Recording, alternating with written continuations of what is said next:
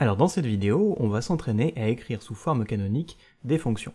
Donc comme d'habitude, je vous laisse quelques secondes pour mettre sur pause et essayer de faire l'exercice de votre côté, et puis ensuite on passe à la correction. Donc ça devrait être bon. On nous dit écrire sous forme canonique les fonctions suivantes.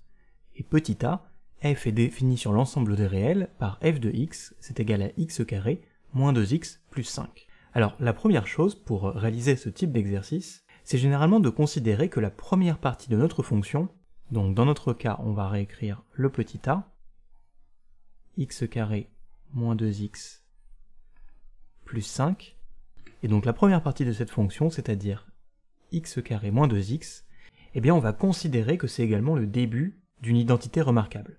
Donc notre identité remarquable ici en l'occurrence c'est a moins b au carré, qui est égal à a carré moins 2ab plus b carré. Et donc x carré moins 2x, on va considérer que ça correspond à a carré moins 2ab.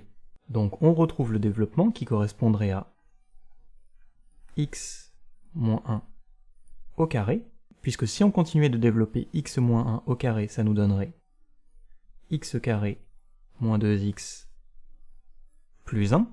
Et ici, on a ce plus 1 qui est superflu. On ne retrouve pas ce plus 1 dans notre équation, qui est ici.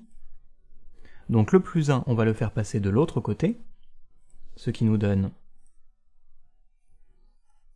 x moins 1 au carré moins 1, c'est égal à x carré moins 2x. On obtient presque notre forme canonique, il ne nous reste plus qu'à rajouter notre plus 5, donc on va rajouter plus 5 des deux côtés de l'équation, ce qui nous donne x moins 1 au carré moins 1 plus 5, c'est égal à x carré moins 2x plus 5. Maintenant, ce que l'on peut faire, c'est supprimer la deuxième partie de l'équation, puisqu'elle ne nous intéresse plus, on n'en a plus besoin.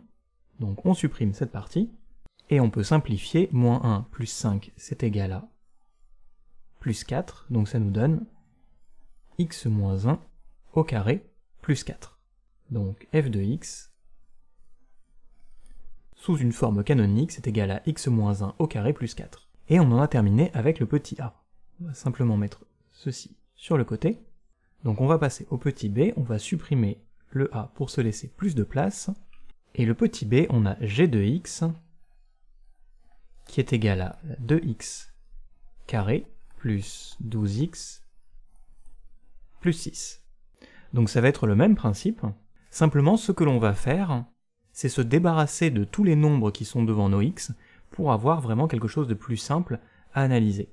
Donc ça nous donne, on peut trouver un facteur de 2, et on a x carré plus 6x plus 3. Vous voyez, si on multiplie tout ça par 2, on retrouve bien notre fonction initiale.